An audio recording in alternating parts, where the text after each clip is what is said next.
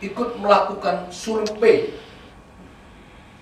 ke lokasi Amalia bersama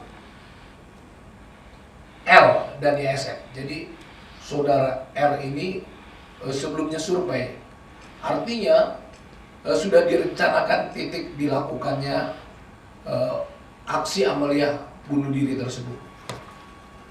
Kemudian Andre alias An yang sama juga mengikuti perihal perencanaan, mengikuti kajian, dan juga mengikuti bayat kepada Abu Bakar Al-Baghdadi di Villa Mutiara.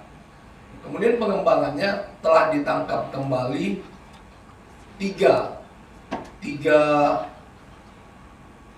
tersangka atau terduga teroris. Yang pertama MM ini perempuan ya atau wanita.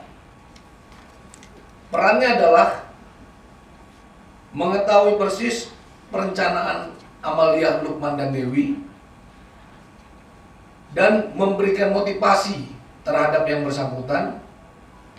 Kemudian dia mendapatkan motivasi untuk jihad dan syahid dari saudara SAS yang telah ditangkap. Kemudian juga ikut bersama-sama uh, mengikuti bayat. Kemudian yang berikut yang pengembangan saudari berarti perempuan, saudari M juga ini merupakan kakak ipar dari SAS. Kemudian mengetahui saudara SAS mengikuti kajian di Villa Mutiara. Dan satu lagi adalah MAN. Ini inisialnya M semua, jadi saya buat yang terakhir ini MAN. Dia melihat saudara L saat terakhir menggunakan motor berangkat menuju TKP lokasi pada saat rencana bom bunuh diri dan juga mengetahui SAS mengikuti kajian. Jadi untuk sementara ini pengembangan di Makassar tujuh orang dalam proses penyidikan, kemudian meninggal dua orang. Jadi total semua sementara sembilan. Artinya update-nya bertambah tiga tersangka, tiga-tiganya adalah perempuan. Kemudian terkait dengan tersangka teroris yang telah diamankan di Makassar, mereka merupakan kelompok atau terafiliasi langsung dengan jaringan JAD yang sama persis uh, pos mereka atau markas mereka di Villa Mutiara yang ditangkap pada tanggal 6 Januari 2021 yang lalu.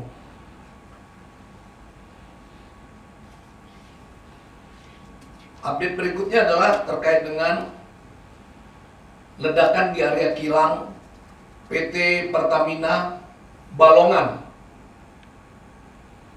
Tadi pagi telah disampaikan sampai tadi pagi empat tangki penampungan masih menyala dan kini sudah dalam keadaan diisolasi sehingga dimungkinkan tidak akan menjalar ke tangki lainnya. Upaya pemadaman masih terus berlangsung dengan mendatangkan tim HSSE mendatangkan tim HSSE Healthy Safety, Security dan Environment dari unit kilang terdekat yakni kilang Pertamina Cilacap, Pertamina EP, kilang Pertamina Pelaju, serta Badan Penanggulangan Bencana Daerah di Indramayu. Kemudian bekerja sama dengan Pemda Kabupaten Indramayu untuk membantu penyediaan berbagai keperluan warga pengungsian seperti makanan, obat-obatan, perlengkapan bayi, serta fasilitas umum lainnya. Kemudian warga yang diungsikan di komplek perumahan Bumi Patra sebanyak 339 orang dengan tetap memastikan warga menjalankan protokol kesehatan. Pertamina dalam hal ini menyediakan barang-barang terkait seperti masker dan hand sanitizer serta lainnya. Kemudian memperoleh bantuan dari Kementerian Sosial berupa makanan siap saji sebanyak 600 paket, makanan anak sebanyak 300 paket, selimut, selimut, kasur dan lain-lainnya.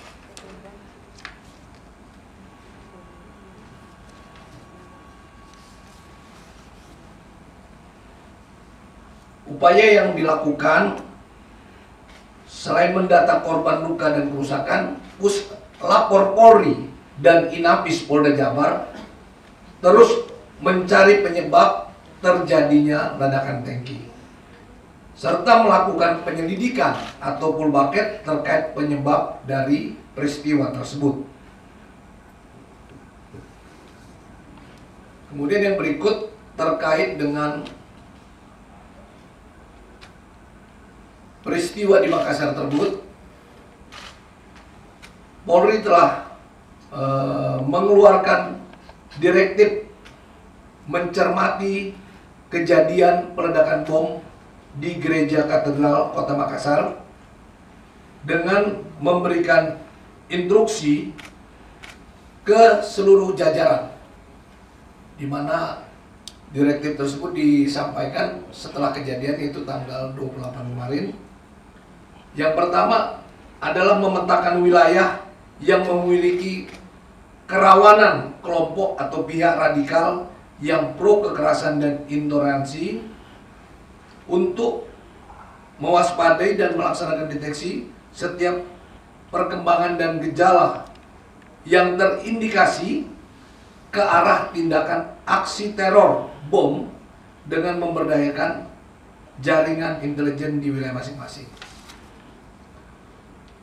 kemudian melakukan koordinasi secara intens dengan satgas di wilayah, melakukan pengamanan dan penjagaan secara terbuka dan tertutup, kemudian meningkatkan koordinasi dengan aparat TNI, Pamdal serta instansi terkait, kemudian melakukan himbauan melalui publik address maupun melalui media Kemudian mengoptimalkan pola rayonisasi dalam menghadapi setiap perkembangan situasi bila diperlukan.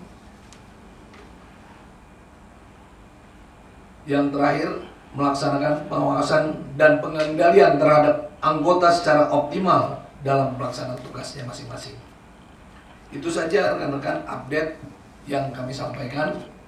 Eh, di sebelah saya ada Kabin Humas Polda Metro Jaya lebih khusus bila rekan-rekan uh, menanyakan update di wilayah hukum Polda Metro Jaya silakan. Ada yang mau ditanyakan?